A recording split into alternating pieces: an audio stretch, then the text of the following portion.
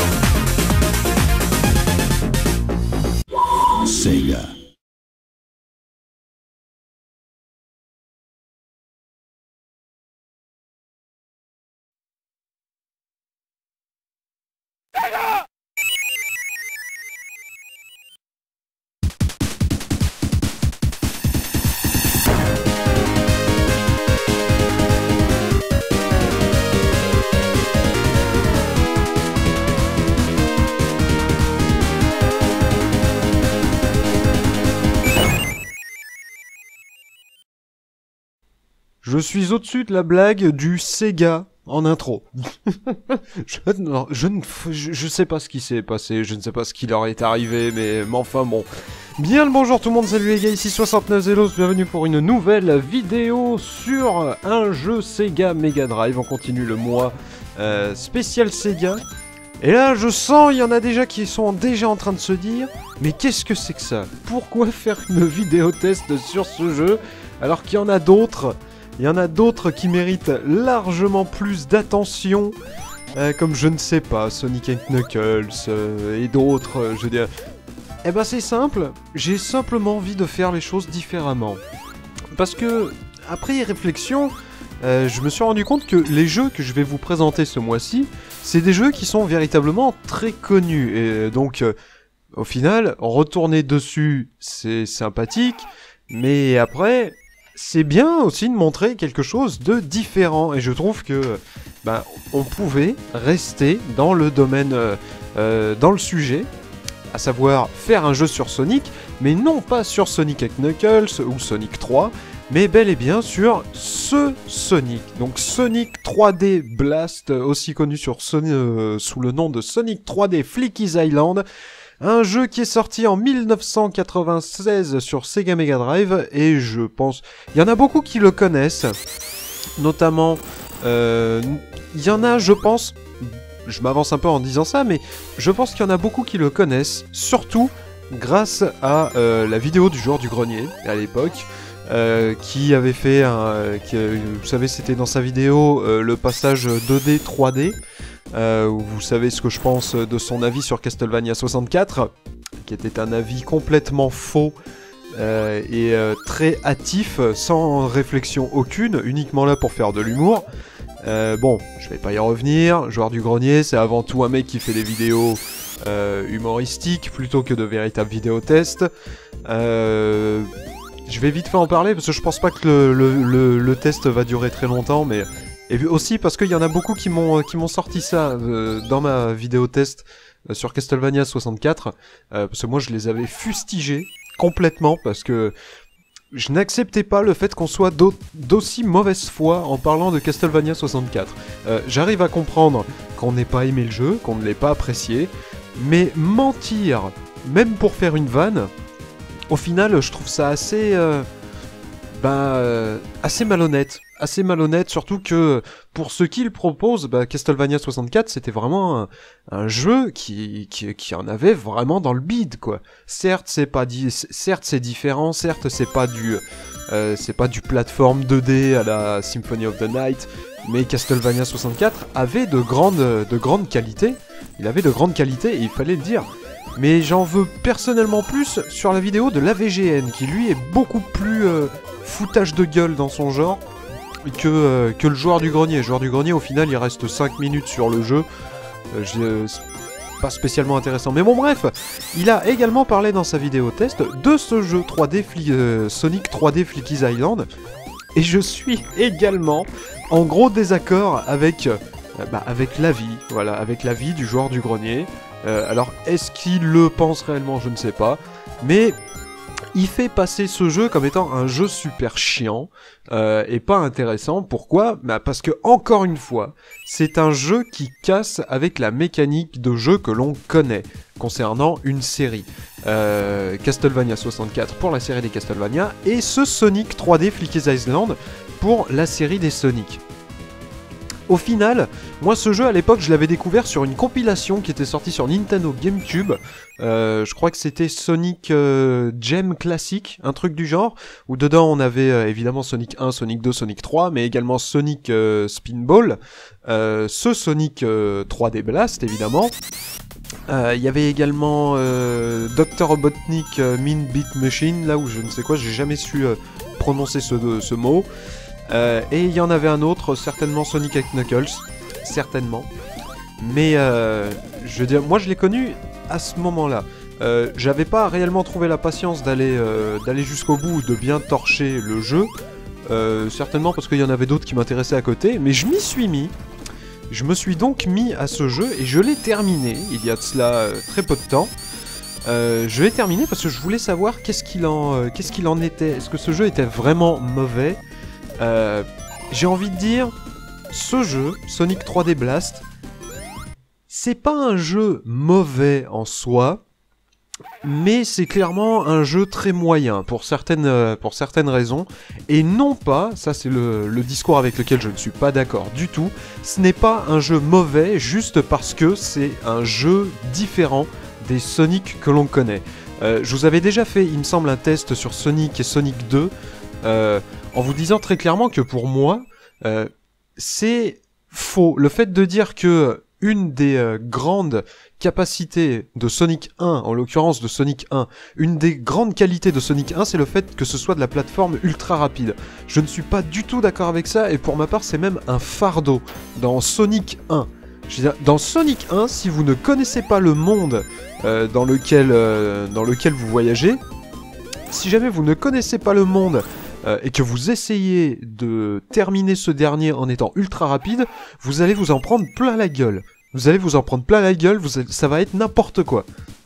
Donc la vitesse, pour ma part, dans les Sonic, ça a toujours été un fardeau.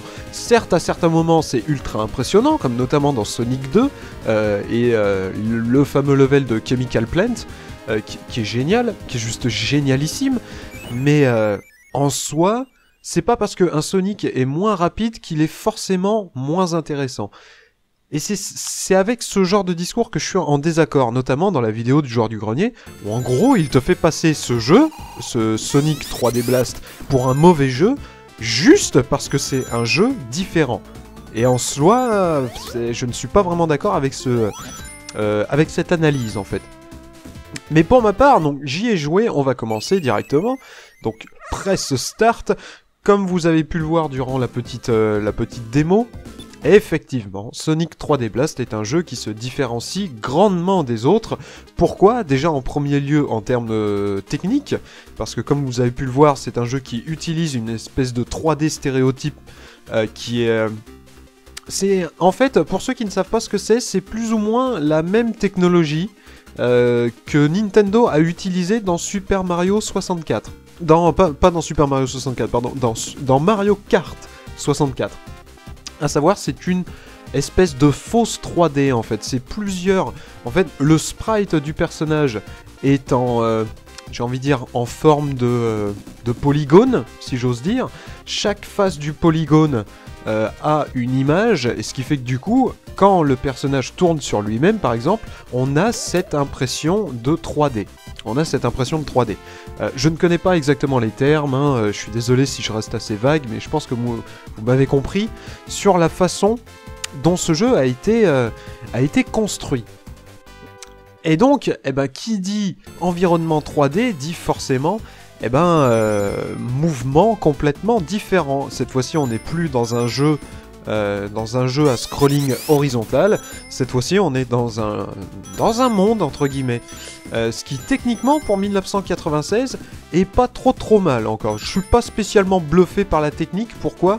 Eh ben Parce qu'il y a déjà des jeux, notamment sur NES, euh, qui ont déjà... qui ont déjà fait, qui ont déjà fait ce genre de rendu et on était sur NES. Je dis, comme par exemple, je ne sais pas, genre euh, Solstice. Solstice par exemple, certes il est moins bien abouti, mais il est quand même, euh, il, repose sa technique sur plus ou moins la même, euh, la même chose.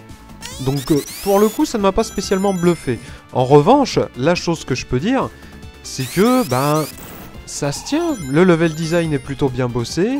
Euh, évidemment, c'est pas pas un truc de psychopathe et le fait qu'on ait cette caméra voilà en 3D isométrique en 3D isométrique pardon, euh, eh ben ça amène euh, une certaine imprécision.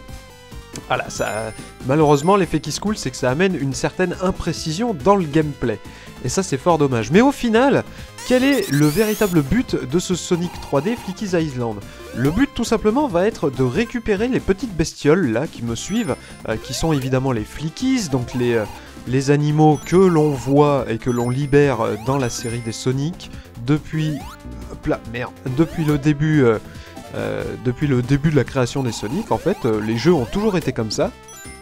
Et donc, tout simplement, on va se balader dans les différents levels, le but étant de récupérer 5 flickies pour, pour pouvoir passer au, euh, pour pouvoir passer au plateau suivant. Une fois qu'on a récupéré les petits animaux, et je vais récupérer un petit bouclier, vous voyez qu'absolument tout de l'univers Sonic est réutilisé, même au final la dalle que vous êtes en train de voir sur le sol, c'est euh, c'est l'esthétisme d'un Sonic. Donc en soi, c'est pas spécialement euh, choquant ou dérangeant. Et une fois que vous avez vos petites bestioles, vous arrivez à cet endroit, hop là, ce qui vous libère l'accès à un autre, euh, un autre endroit tout simplement du, euh, euh, du monde. Et donc, ceci, ainsi de suite, jusqu'à la fin du jeu. Le jeu possède 8 environnements, euh, ce qui est quand même pas mal. Ce qui est quand même pas mal, surtout que les jeux, enfin les jeux, pardon, pas les jeux, mais les mondes, euh, les mondes en eux-mêmes sont véritablement assez longs. Et ça d'ailleurs pour ma part c'est un défaut. Ça pour ma part c'est un défaut parce que autant un Sonic classique, un Sonic 2D, je veux dire Sonic 1, Sonic 2 ou Sonic 3, euh, en restant dessus une bonne après-midi, euh, on peut assez facilement arriver à la fin. On peut assez facilement arriver à la fin. Euh, le problème c'est que dans ce Sonic 3D Blast, eh ben c'est pas le cas. C'est pas vraiment le cas parce que encore une fois les niveaux sont longs, euh, ça demande une approche un petit peu plus euh, posée, un petit peu plus calme euh, que une approche d'un jeu Sonic classique. Ce qui fait que pour le coup, eh ben forcément on va mettre plus de temps. On va mettre plus de temps pour réaliser, pour réaliser les levels, pour choper toutes les bestioles, euh, pour choper toutes les bestioles et finir les niveaux, sachant que comme, euh, comme les autres euh, hop là, comme les autres Sonic, chaque niveau est segmenté en trois actes. Donc là, on est en train de faire l'acte 1. Par la suite, on aura l'acte 2 et l'acte 3 quant à lui est un combat de boss. Les combats de boss qui sont plutôt sympas. Le fait encore une fois qu'on ait cette, cette 3D euh, euh, cette 3D si spéciale, ça amène ça amène un point de vue différent en fait. On est un petit peu plus prudent, c'est clair. On ne joue pas de la même façon qu'un Sonic euh, classique, encore une fois. Mais ça reste, pour ma part, ça reste une approche différente. Pas spécialement euh, une approche euh, ultra révolutionnaire ou je ne sais quoi.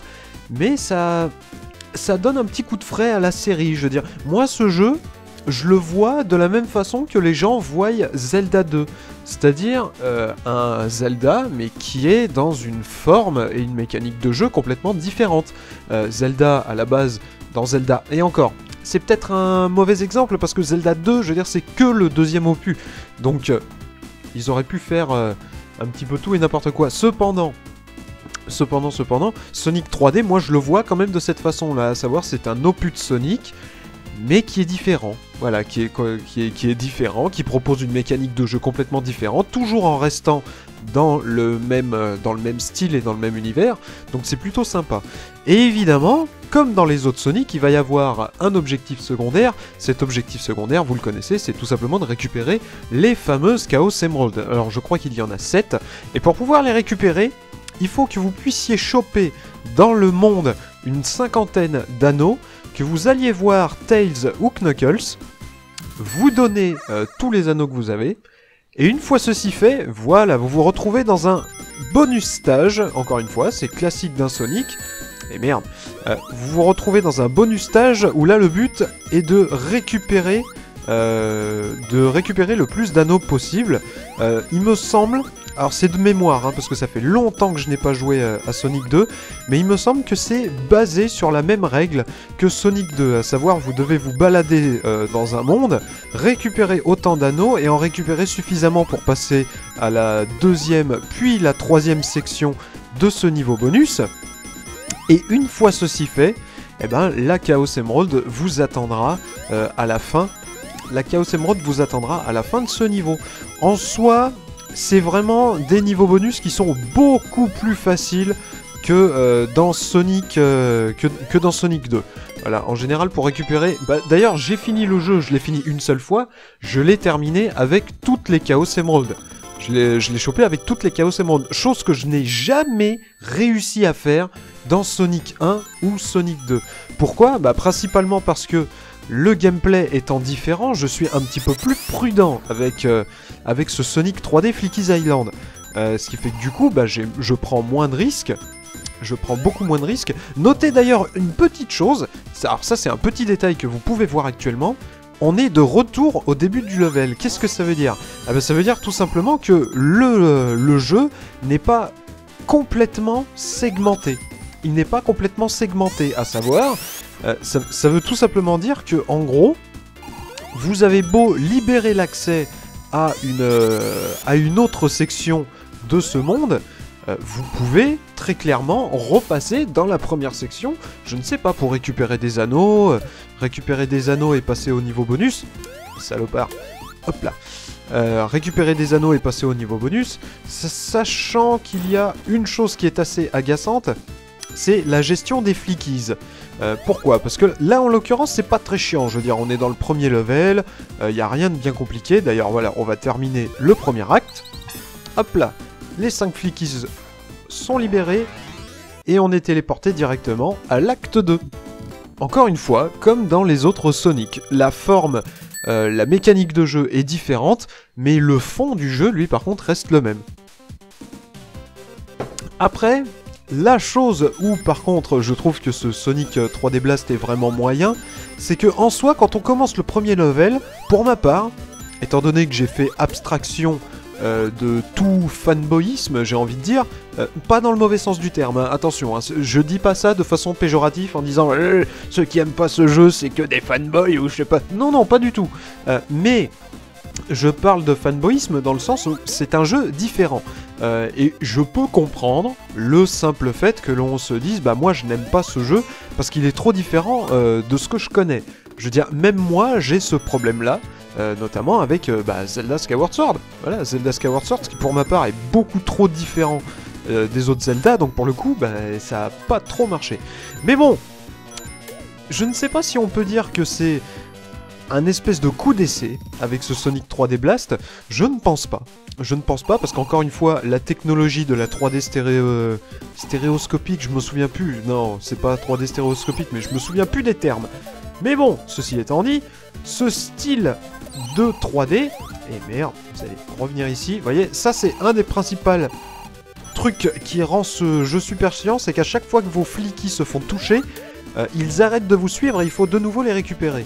Alors comme je vous l'ai dit, dans euh, cette phase-là, ce n'est pas dérangeant. Pourquoi? Parce qu'on a des fliquis bleus avec nous. Les fliquis bleus ou alors les fliquis violets, qui eux ne font que euh, se balader jusqu'à ce que vous les récupériez ce qui en soi n'est pas trop dérangeant, mais par la suite, par contre, on va récupérer d'autres styles de fliquis. Des fliquis verts, des fliquis rouges, qui eux, par contre, ont un comportement complètement différent. Ah, tenez, on va récupérer la deuxième Chaos Emerald, si on peut, hein, parce qu'il faut que je vous parle en même temps. Mais euh, D'ailleurs, au passage, moi je trouve que la 3D est vraiment sympa et vraiment maîtrisée. Voilà, c'est pas quelque chose. Ça m'agresse pas les yeux. Personnellement, moi ça ne m'agresse pas les yeux. Bon, je suis pas en train de vous dire que c'est la meilleure 3D du monde ou je ne sais quoi. Mais euh, je ne sais pas. Moi, le jeu par exemple, je le trouve pas moche. Je le trouve vraiment pas moche. il est maîtrisé. L'action est fluide. Le jeu ne rame pas un. Il, ne rame pas d'un iota. Donc franchement, c'est. Sega, je trouve, ils ont fait un, ils ont fait un très bon travail. Ils ont fait un très bon travail là-dessus. Euh, mais en soi, euh, qu'est-ce que je voulais dire? Oui, je voulais, je voulais commencer à parler des, choses très agaçantes. Et là, malheureusement, bah, on va, euh, on va parler du, bah, de, de la forme. Voilà, de la forme. C'est la forme qui pose problème. Parce que dans les premiers levels, c'est un level design assez simple. Donc, il n'y a pas de grosses, grosses difficultés. On s'en sert, euh, on s'en sort, pardon. Euh, on- ça- Eh merde, salopard. Euh, on s'en sort quand même assez bien. Euh, D'ailleurs, je notais au passage, le jeu, là j'ai peut-être perdu une vie, mais encore une fois, on est en vidéo, il faut que je vous parle plutôt que de me concentrer, donc c'est assez complexe. Mais ceci étant dit, le jeu est quand même très facile. Le jeu est quand même très facile, la difficulté n'est pas spécialement euh, au rendez-vous, et en fait vous allez plus galérer sur certains choix de level design plutôt que euh, sur la difficulté euh, réelle du jeu. Ce que j'entends par là, c'est que là où bah, le premier level, comme vous pouvez le voir, on a des espèces de petites bosses, des petits livelets de terrain euh, qui, qui nous empêchent un petit peu euh, de, qui nous empêchent un petit peu de euh, jouer convenablement, qui changent un petit peu l'inertie de Sonic. Euh, dans les autres niveaux, par contre, on va avoir des, euh, des phases de plateforme assez approximatives. Ça, c'est un des défauts aussi, comme vous pouvez le voir. J'en ai chié pour sauter sur une petite plateforme, due à cette 3D. Euh, mais en soi, euh, le véritable problème, voilà, ça va être dans les choix de level design. Euh, comme par exemple, par la suite, euh, vous avez pu l'apercevoir dans la, dans la démo. On va atteindre notamment un. J'ai envie de dire un level euh, de glace. Un level de glace. Ce qui fait que du coup, qui dit level de glace dit forcément, eh ben on patine. On patine. Et ça va être très agaçant parce que déjà que Sonic a une fâcheuse tendance à patiner sans la glace, eh ben avec la glace, je peux vous dire que ça va être une mince affaire. Donc pour le coup, la frustration va plus venir de ça. La frustration va plus venir de ça, c'est à, à savoir euh, certains choix dans le level design qui sont véritablement très très agaçants. Comme je vous ai dit, le fait que Sonic, euh, euh, le fait que Sonic se mouvoie d'une façon assez un petit peu hasardeuse, ça me fait grandement penser à certains personnages. Je sais pas si notamment vous avez joué à Sonic Air euh, ou même euh, ou même d'autres jeux Sonic, mais en général, le personnage dans l'univers de Sonic qui possède euh, ce, ce défaut-là, le fait de patiner un petit peu partout, c'est Tails. Tails, à chaque fois, il a une inertie qui est complètement dégueulasse. Euh, que ce soit même dans les Sonic, euh, même dans les Mario et Sonic aux Jeux Olympiques. Tails, c'est une patinoire. Euh, donc c'est le truc qui est super chiant. Et même dans Sonic All Star Racing, c'est-à-dire c'est un truc qui continue même de nos jours. hein. C'est un truc infect. Mais bon, Sonic, là, il possède cette espèce d'inertie un petit peu glissante, due à sa vitesse également. Et bah, je vous laisse imaginer les, euh, euh, les soucis, les petits soucis de perspective également, parce que encore une fois, la suite, euh, est quand même assez lourdingue, encore une fois dans certaines phases de, gameplay. Mais ça, c'est un truc que l'on va voir un petit peu plus tard, et je ne pense pas que j'aurai le temps de vous le montrer. Donc ça, c'est une des phases aussi qui peut être un petit peu frustrante, c'est tout simplement de chercher, chercher le dernier ennemi. Comme là, par exemple, j'ai 4 flickies, euh, sauf qu'il il manque un ennemi en fait. Je n'ai pas tué un ennemi et il faut que je le trouve dans toute la map. Ce qui allonge encore une fois euh, la durée, euh, la durée de vie de façon artificielle parce que là c'est plus, c'est plus du où est Charlie qu'autre chose là. Donc là on, va, on essaye de trouver le dernier ennemi et donc on va se balader. Ah ben hop là, il est ici. Donc là, hop là, on récupère le cinquième on peut passer, on peut terminer l'acte 2. Et puis sinon, voilà, voilà, c'est de cette façon que se déroule Sony's... euh, Sony's C'est pas mal ça, Sony's Sonic 3D euh, Blast ou Flicky's Island. Euh, franchement, moi je trouve le level, enfin le, le jeu, je le trouve vraiment sympa. Il est vraiment sympa, il est pas ultra compliqué. Chaque boss, évidemment, bon, chaque fois, évidemment, on se bat contre Eggman. Là, en l'occurrence, pour pouvoir le toucher, il faut attendre qu'il récupère sa, sa bouboule, sa bouboule qui nous poursuit. Une fois qu'elle a terminé ses sauts, on peut sauter euh, sur le vaisseau d'Eggman, évidemment, comme dans tous les autres Sonic. euh, toucher Eggman un certain nombre de fois, et au bout d'un moment, bah, il mourra. Mais voilà, en soi, je trouve que le jeu est véritablement sympa. Il est plutôt bien foutu. Euh, mention spéciale à certaines musiques, euh, parce que les musiques de ce, 3, de ce- ce Sonic 3D, franchement, elles m'ont surpris. Elles m'ont vraiment surprise la plupart du temps. Euh, je, me souvenais pas. Je me souvenais pas que ce Sonic avait des musiques euh, véritablement très sympathiques. Encore une fois, ça te montre que la Mega Drive peut sortir des bons, des très bons thèmes. Bah, notamment, écoutez ce thème-là, par exemple.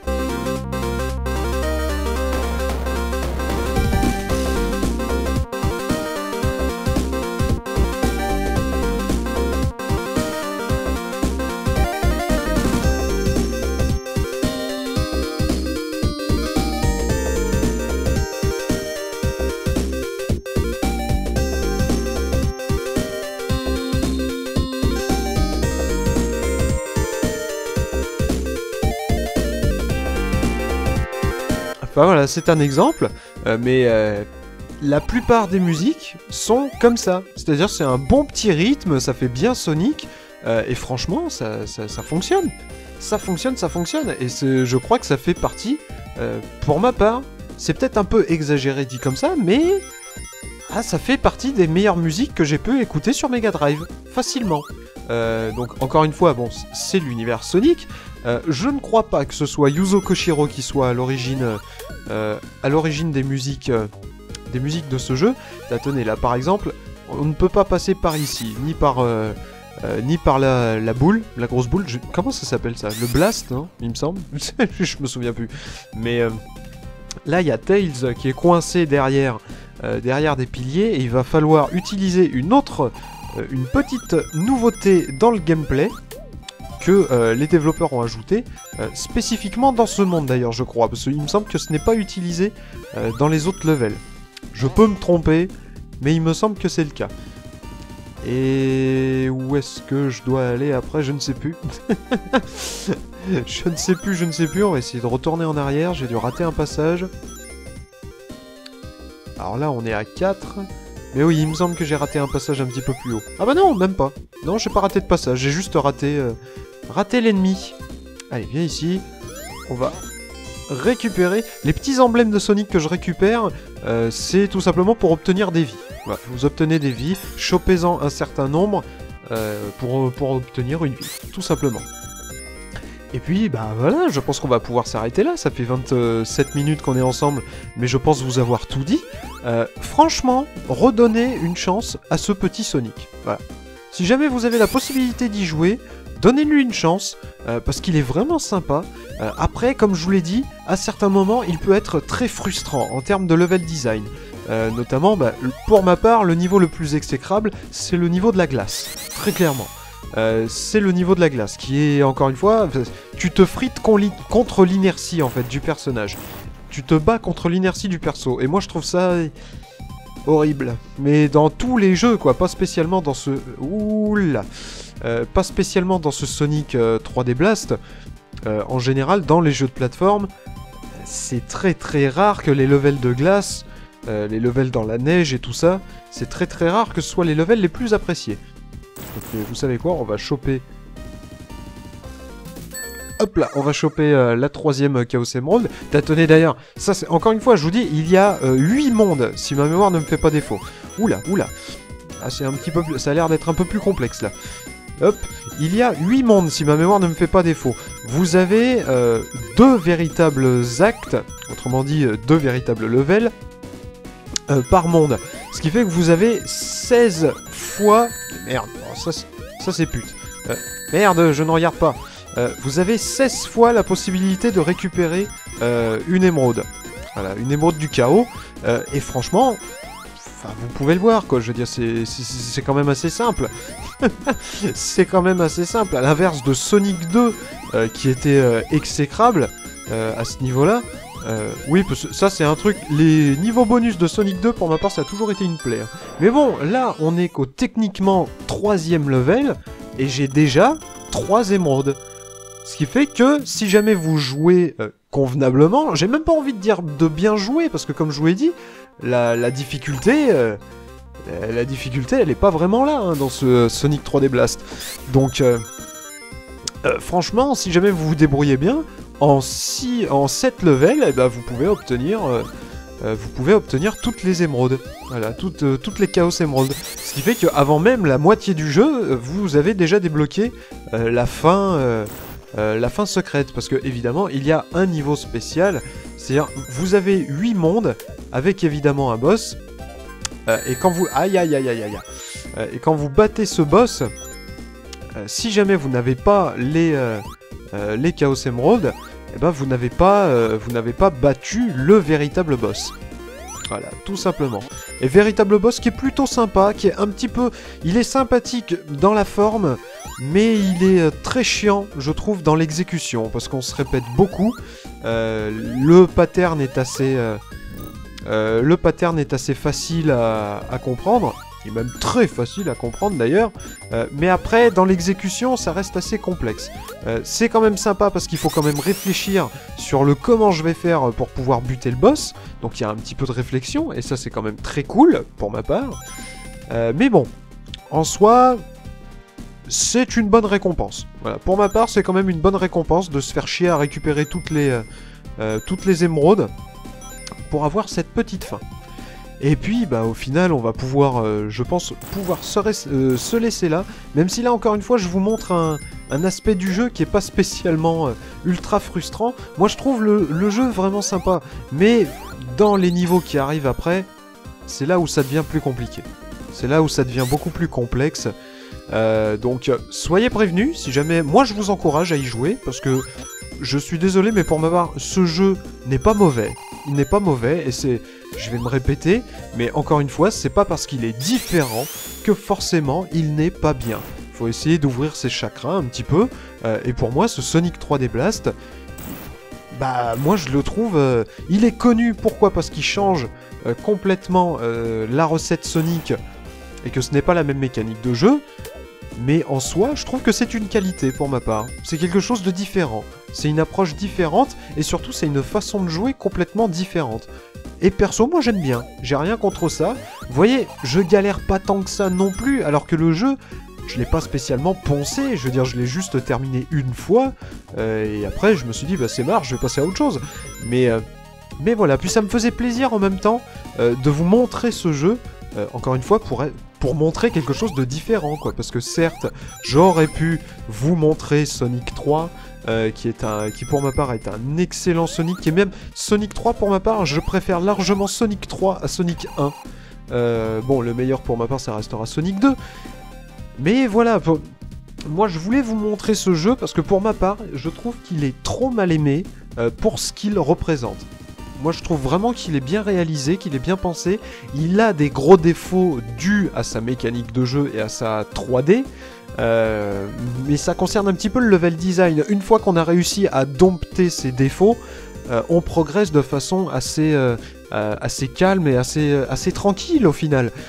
Petit défaut, comme encore une fois, petit défaut que je n'apprécie pas vraiment, c'est tout simplement bah, le, le manque de sauvegarde. Parce qu'encore une fois, le jeu est quand même très long.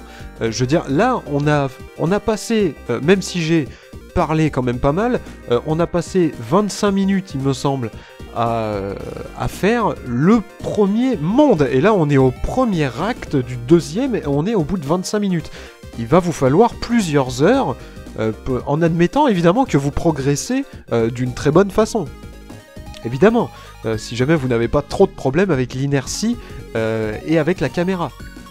Mais je crois avoir terminé ce jeu, il me semble, en, en 5 heures, en 5 heures, un truc comme ça, ce qui est énorme, ce qui est énorme pour un jeu de plateforme comme ça.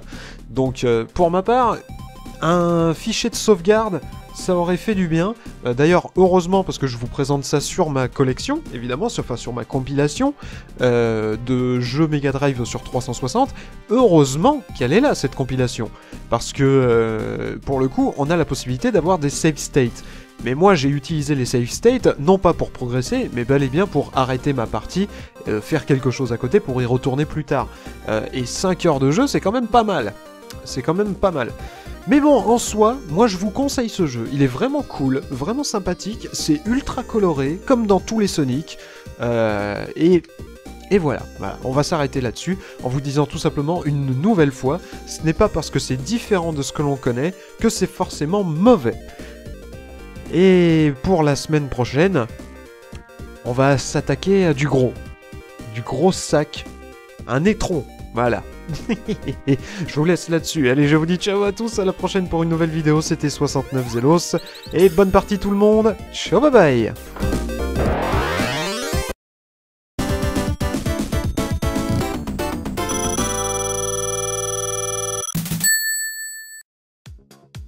Merci à tous d'avoir suivi cette vidéo jusqu'au bout. Si celle-ci vous a plu, n'hésitez pas à liker et à la partager. Pour soutenir la chaîne et ne pas rater les prochaines vidéos, n'hésitez pas non plus à vous abonner et si c'est déjà fait, n'oubliez pas de cliquer sur la petite cloche qui vous avertira dès qu'une vidéo pointera le bout de son nez. En attendant, je vous dis ciao à tous, à la prochaine pour une nouvelle vidéo, c'était 69 Zelos, et bonne partie tout le monde, ciao bye bye